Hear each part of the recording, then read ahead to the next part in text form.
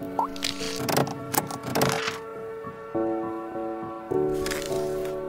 दोस्तों, आप सभी का स्वागत है विवेक मिश्रा ट्रेड मेटेरियल्स हम लोग जिस शेयर के ऊपर बात करने वाले हैं, या कह लीजिए जिस बैंक के ऊपर बात करने वाले हैं इंडियन ओवरसी बैंक लिमिटेड है। तो देखिए, अभी इसी के बैंक के ऊपर हम लोग पूरा फाइनेंशियल चेक लेंगे फाइनेंशियल कंडीशन जानेंगे कि बैंक कैसा परफॉर्म किया है लास्ट के ईयरों में, और अभी कैसा कंपनी जो बैंक है वो परफॉर्म कर रहा है मार्केट में। तो उन सभी चीज़ों का हम लोग फाइनेंशियल एनालिसिस करेंगे और चार्ट चेक भी लेंगे कि, और आप लास्ट में बताइएगा आप वीडियो देखने के बाद कमेंट में कि आप लोगों को क्या लगता है आपके लिए ये कंपनी ये बैंक है इन्वेस्टमेंट के लिए या नहीं। कमेंट में ज़रूर बताइएगा, इससे आपके ओपिनियन से मुझे और भी इंफॉर्मेशन मिल जाएगी, जिससे मैं आने वाले और जो बैंक इस कैटेगरी के होंगे, मैं उनको देख के फिर जो आप लोगों का डिमांड होगा, उस हिसाब से हम लोग उसको फाइंड करेंगे। जैसे आप लोग कहते हैं कि आपको डिविडेंट वाले शेयर चाहिए, जो कम प्राइस के हो तो मैंने उस पर भी काफ़ी सारी लिस्ट बना दी है। फिर उसके बाद आपका ये भी पॉइंट था कि अच्छा डिविडेंड पे आउट भी हो और अच्छा रिटर्न हो। ऐसी भी कम ऐसे भी कंपनियों के बारे में बताइए तो वैसी भी कंपनियाँ हम लोगों ने काफ़ी सारी बता दिया है। जैसे देखिए, आज की मैंने ऑलरेडी दो वीडियो जिसपे पब्लिश किया है। एंड एक हो गया एनएलसी इंडिया लिमिटेड ये भी अच्छा डिविडेंट और अच्छा रिटर्न प्रोवाइड करती है। उसी तरीके से इंडिया हाउसिंग फाइनेंस भी है। अच्छा रिटर्न और अच्छा डिविडेंट पे आउट इसका भी रहा है। और अभी हम लोग आगे जिस कंपनी के ऊपर बात करने वाले हैं, उसके बारे में भी जानते हैं। पीएनबी ग्लिट्स भी आप ट्राई कर सकते हैं, ये भी अच्छा डिविडेंड प्रोवाइड करती है और रिटर्न भी 100 परसेंट से अब दे दिया है फोर मंथ में। तो आप इन शेयरों को ज़रूर से चेकआउट करिए। चलिए हम लोग हम लोग अभी आज जिस शेयर पे डिस्कस करने वाले हैं, उसके बारे में बात करते हैं। पहली वीडियो होगी यूट्यूब पे तो ध्यान से समझिएगा। जो चैनल पे नए हो चैनल सब्सक्राइब कर ले नोटिफिकेशन बेल ज़रूर प्रेस करें ताकि आने वाले नेक्स्ट अपडेट आपसे मिस ना हो। चलिए ड्रेस हम लोग इस शेयर के बारे में समझ लेते हैं फटाफट की अभी कैसी कंडीशन और मार्केट में वर्क कर रहा है। तो इंडियन ओवरसी बैंक लिमिटेड जो है, अभी बैंक है जो, वो रीजनल बैंकिंग आ जाता है regional nineteen rupees twenty five पैसे पे ट्रेड कर रहा है टेन परसेंट का अपर सर्किट लगा है। वैसे कोई इतना खास नहीं था, क्योंकि ऑलरेडी ये शेयर आपको एक बार जब से मूवमेंट दिया था एट रुपीज़ अराउंड से ten rupees eight rupees around से एटीन रुपीज़ तक का उसके बाद से डाउनफॉल अप डाउन होके अभी तक इतना ही है और वो मूवमेंट काफ़ी पहले की रिकॉर्ड थी। मैंने इसमें ट्रेड लिया था, इसलिए मुझे याद है। उसके बाद से इसमें कोई इतना मूवमेंट आया नहीं है। दो दिन के बाद अर्निंग रिज़ल्ट आने वाले हैं तो मेन चक्कर वही है कि अर्निंग रिज़ल्ट से पहले शेयर भागते हैं। तो वो भाग रहा है। मार्केट कैपिटल बहुत शानदार है। ईपीएस बेसिक वाला 0.33 है। डिविडेंट अभी कुछ भी प्रोवाइड नहीं करती है। बाकी प्राइस अर्निंग रेशियो की बात करें तो 49.55 आ जाता है। ठीक ठाक है, कोई इतना दिक्कत नहीं है। मैंने इस शेयर को अभी इसलिए चूज़ किया आप लोगों को समझाने के लिए। मेन रीजन यही था कि इसने रेजिस्टेंस लेवल जो लास्ट के थे, उन सभी को ब्रेक किया। ये देखिए फेब्रवरी 16 के अराउंड था। उसके बाद से हम लोगों ने इसको, ये वाली जो रैली थी, हम लोगों ने पकड़ा था। उसके बाद से इसको मैंने डिस्कस नहीं किया था यूट्यूब पे। तो अभी हम लोग इसको डिस्कस करेंगे। यूट्यूब पे तो मैंने शायद इस शेयर को एक बार भी नहीं डिस्कस किया है। ऐसे हम लोगों ने लेक्चर में शायद क्लास में डिस्कस किया हो, वो पहले की बात है। तो अभी देखिए, इसका जो अभी ये रेजिस्टेंस ब्रेक कर दिया है तो यही मेन चक्कर है आप लोगों को एक्सप्लेन करने का। अर्निंग रिज़ल्ट भी आने वाले हैं तो वो भी रहते हैं मैटर करेंगे। तो अभी देखिए, आज एवरेज वैल्यू जो टेन डेज़ का बन रहा है ट्वेंटी मिलियन का बन रहा है मतलब शेयर एक्टिव रह रहा है मार्केट में। ऑल टाइम हाई देखिए, अभी फिफ्टी टू वीक हाई देखिए ट्वेंटी रुपीज़ सिक्सटी फाइव पैसे है लो देखिए तो सेवन रुपीज़ फाइव पैसे हैं। इस हिसाब से अच्छी कंडीशन है, देखिए नंबर ऑफ़ शेयर होल्डर भी बहुत बड़ी मात्रा में है two lakh seventy nine thousand लोग इसको होल्ड करके चल रहे हैं।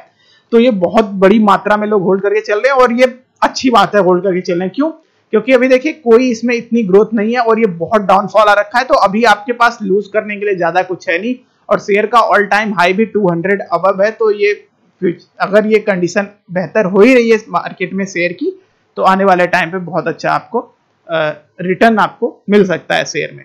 और प्राइवेटाइजेशन की भी तो बात चल ही रही है। तो इस हिसाब से इसकी कंडीशन है, बाकी बैंकिंग से आ जाता है। चलिए अभी हम इसके फाइनेंसिस को डिस्कस कर लेते हैं, जो अभी अभी अवेलेबल हैं। उसके बाद क्योंकि अभी क्वार्टर फोर के नतीजे तो आए नहीं है, दो दिन के अंदर आएँगे मतलब संडे को उम्मीद है संडे को आ जाएगा तो हम लोग मंडे को फिर डिस्कस कर लेंगे। अभी देखिए thirty three thousand market capital है, इसकी अच्छी खासी। Book value eight rupees fifty five है तो अपनी बुक वैल्यू से अप ट्रेड कर रहा है, पर कोई इतना दिक्कत की बात नहीं है, क्योंकि प्रॉफिट भी अच्छा बना है। सेल की बात करें तो लगभग वन परसेंट नेगेटिव में है, पर प्रॉफिट पिछले 12 महीने में 115 परसेंट, एक परसेंट अप रहा है। ऑल टाइम हाई देखिए टू हंड्रेड है। प्रोमोटर्स की होल्डिंग बहुत ज़्यादा है, बहुत बड़ी मात्रा में। तो आप अगर इसमें रिटेल इन्वेस्टर हैं तो आप इसमें ले सकते हैं एंट्री क्योंकि प्रोमोटर भाई 90 फाइव परसेंट से अबव की होल्डिंग है, बहुत ज़्यादा मैटर करता है। पर आप देखेंगे कि आर इसका इतना बेहतर नहीं रहा है। तो आपको इसका मतलब है कि आप वन ईयर से टू ईयर में इसमें शायद ही रिटर्न अच्छा बना पाए। आपको इसको थोड़ा और लंबा सोच के चलना पड़ेगा। मतलब थ्री ईयर से लेके फाइव ईयर के पीरियड में तब ये आपको हंड्रेड अब और टू हंड्रेड परसेंट से ज़्यादा या थ्री हंड्रेड परसेंट ऐसा कुछ अभी फिक्स नहीं है। हंड्रेड परसेंट रिटर्न तो वन ईयर के स्तर में भी मिल जाता है टू स्तर में भी मिल जाता है फोर मंथ में भी मिल जाता है थ्री मंथ में भी मिल जाता है। पर अभी करंटली की आपको अगर बहुत ज़्यादा अच्छा रिटर्न चाहिए तो आप थ्री मंथ फाइव मंथ के लिए थ्री ईयर फाइव ईयर के लिए इसको आप आराम से इजिली लेके चल सकते हैं। आर e पे इतना भरोसा मत करिए, क्योंकि हमेशा पिछले नंबर जैसा कंपनी नहीं रहती है बैंक नहीं रहता है, हर कोई आप लोग समझ ही रहे होंगे। फेस वैल्यू टेन है तो अभी तक एक बार भी स्प्लिट नहीं हुआ है। तो नंबर तो अच्छे आए ही थे, अब मैं आपको बताऊँ, इसको फाइनेंसिंग से तो लास्ट काफ़ी ईयरों से प्रॉफिट नहीं हो रहा है, पर इन्होंने अब मैनेज अच्छा कर लिया है कि इनका जो फाइनेंसिंग मार्जिन है, वो अब कम होने लगा है। स्टिल देखिए अदर इनकम में बहुत सारे फैक्टर आ जाते हैं तो यहाँ पे अब ये चीज़ ग्रोथ हुई है।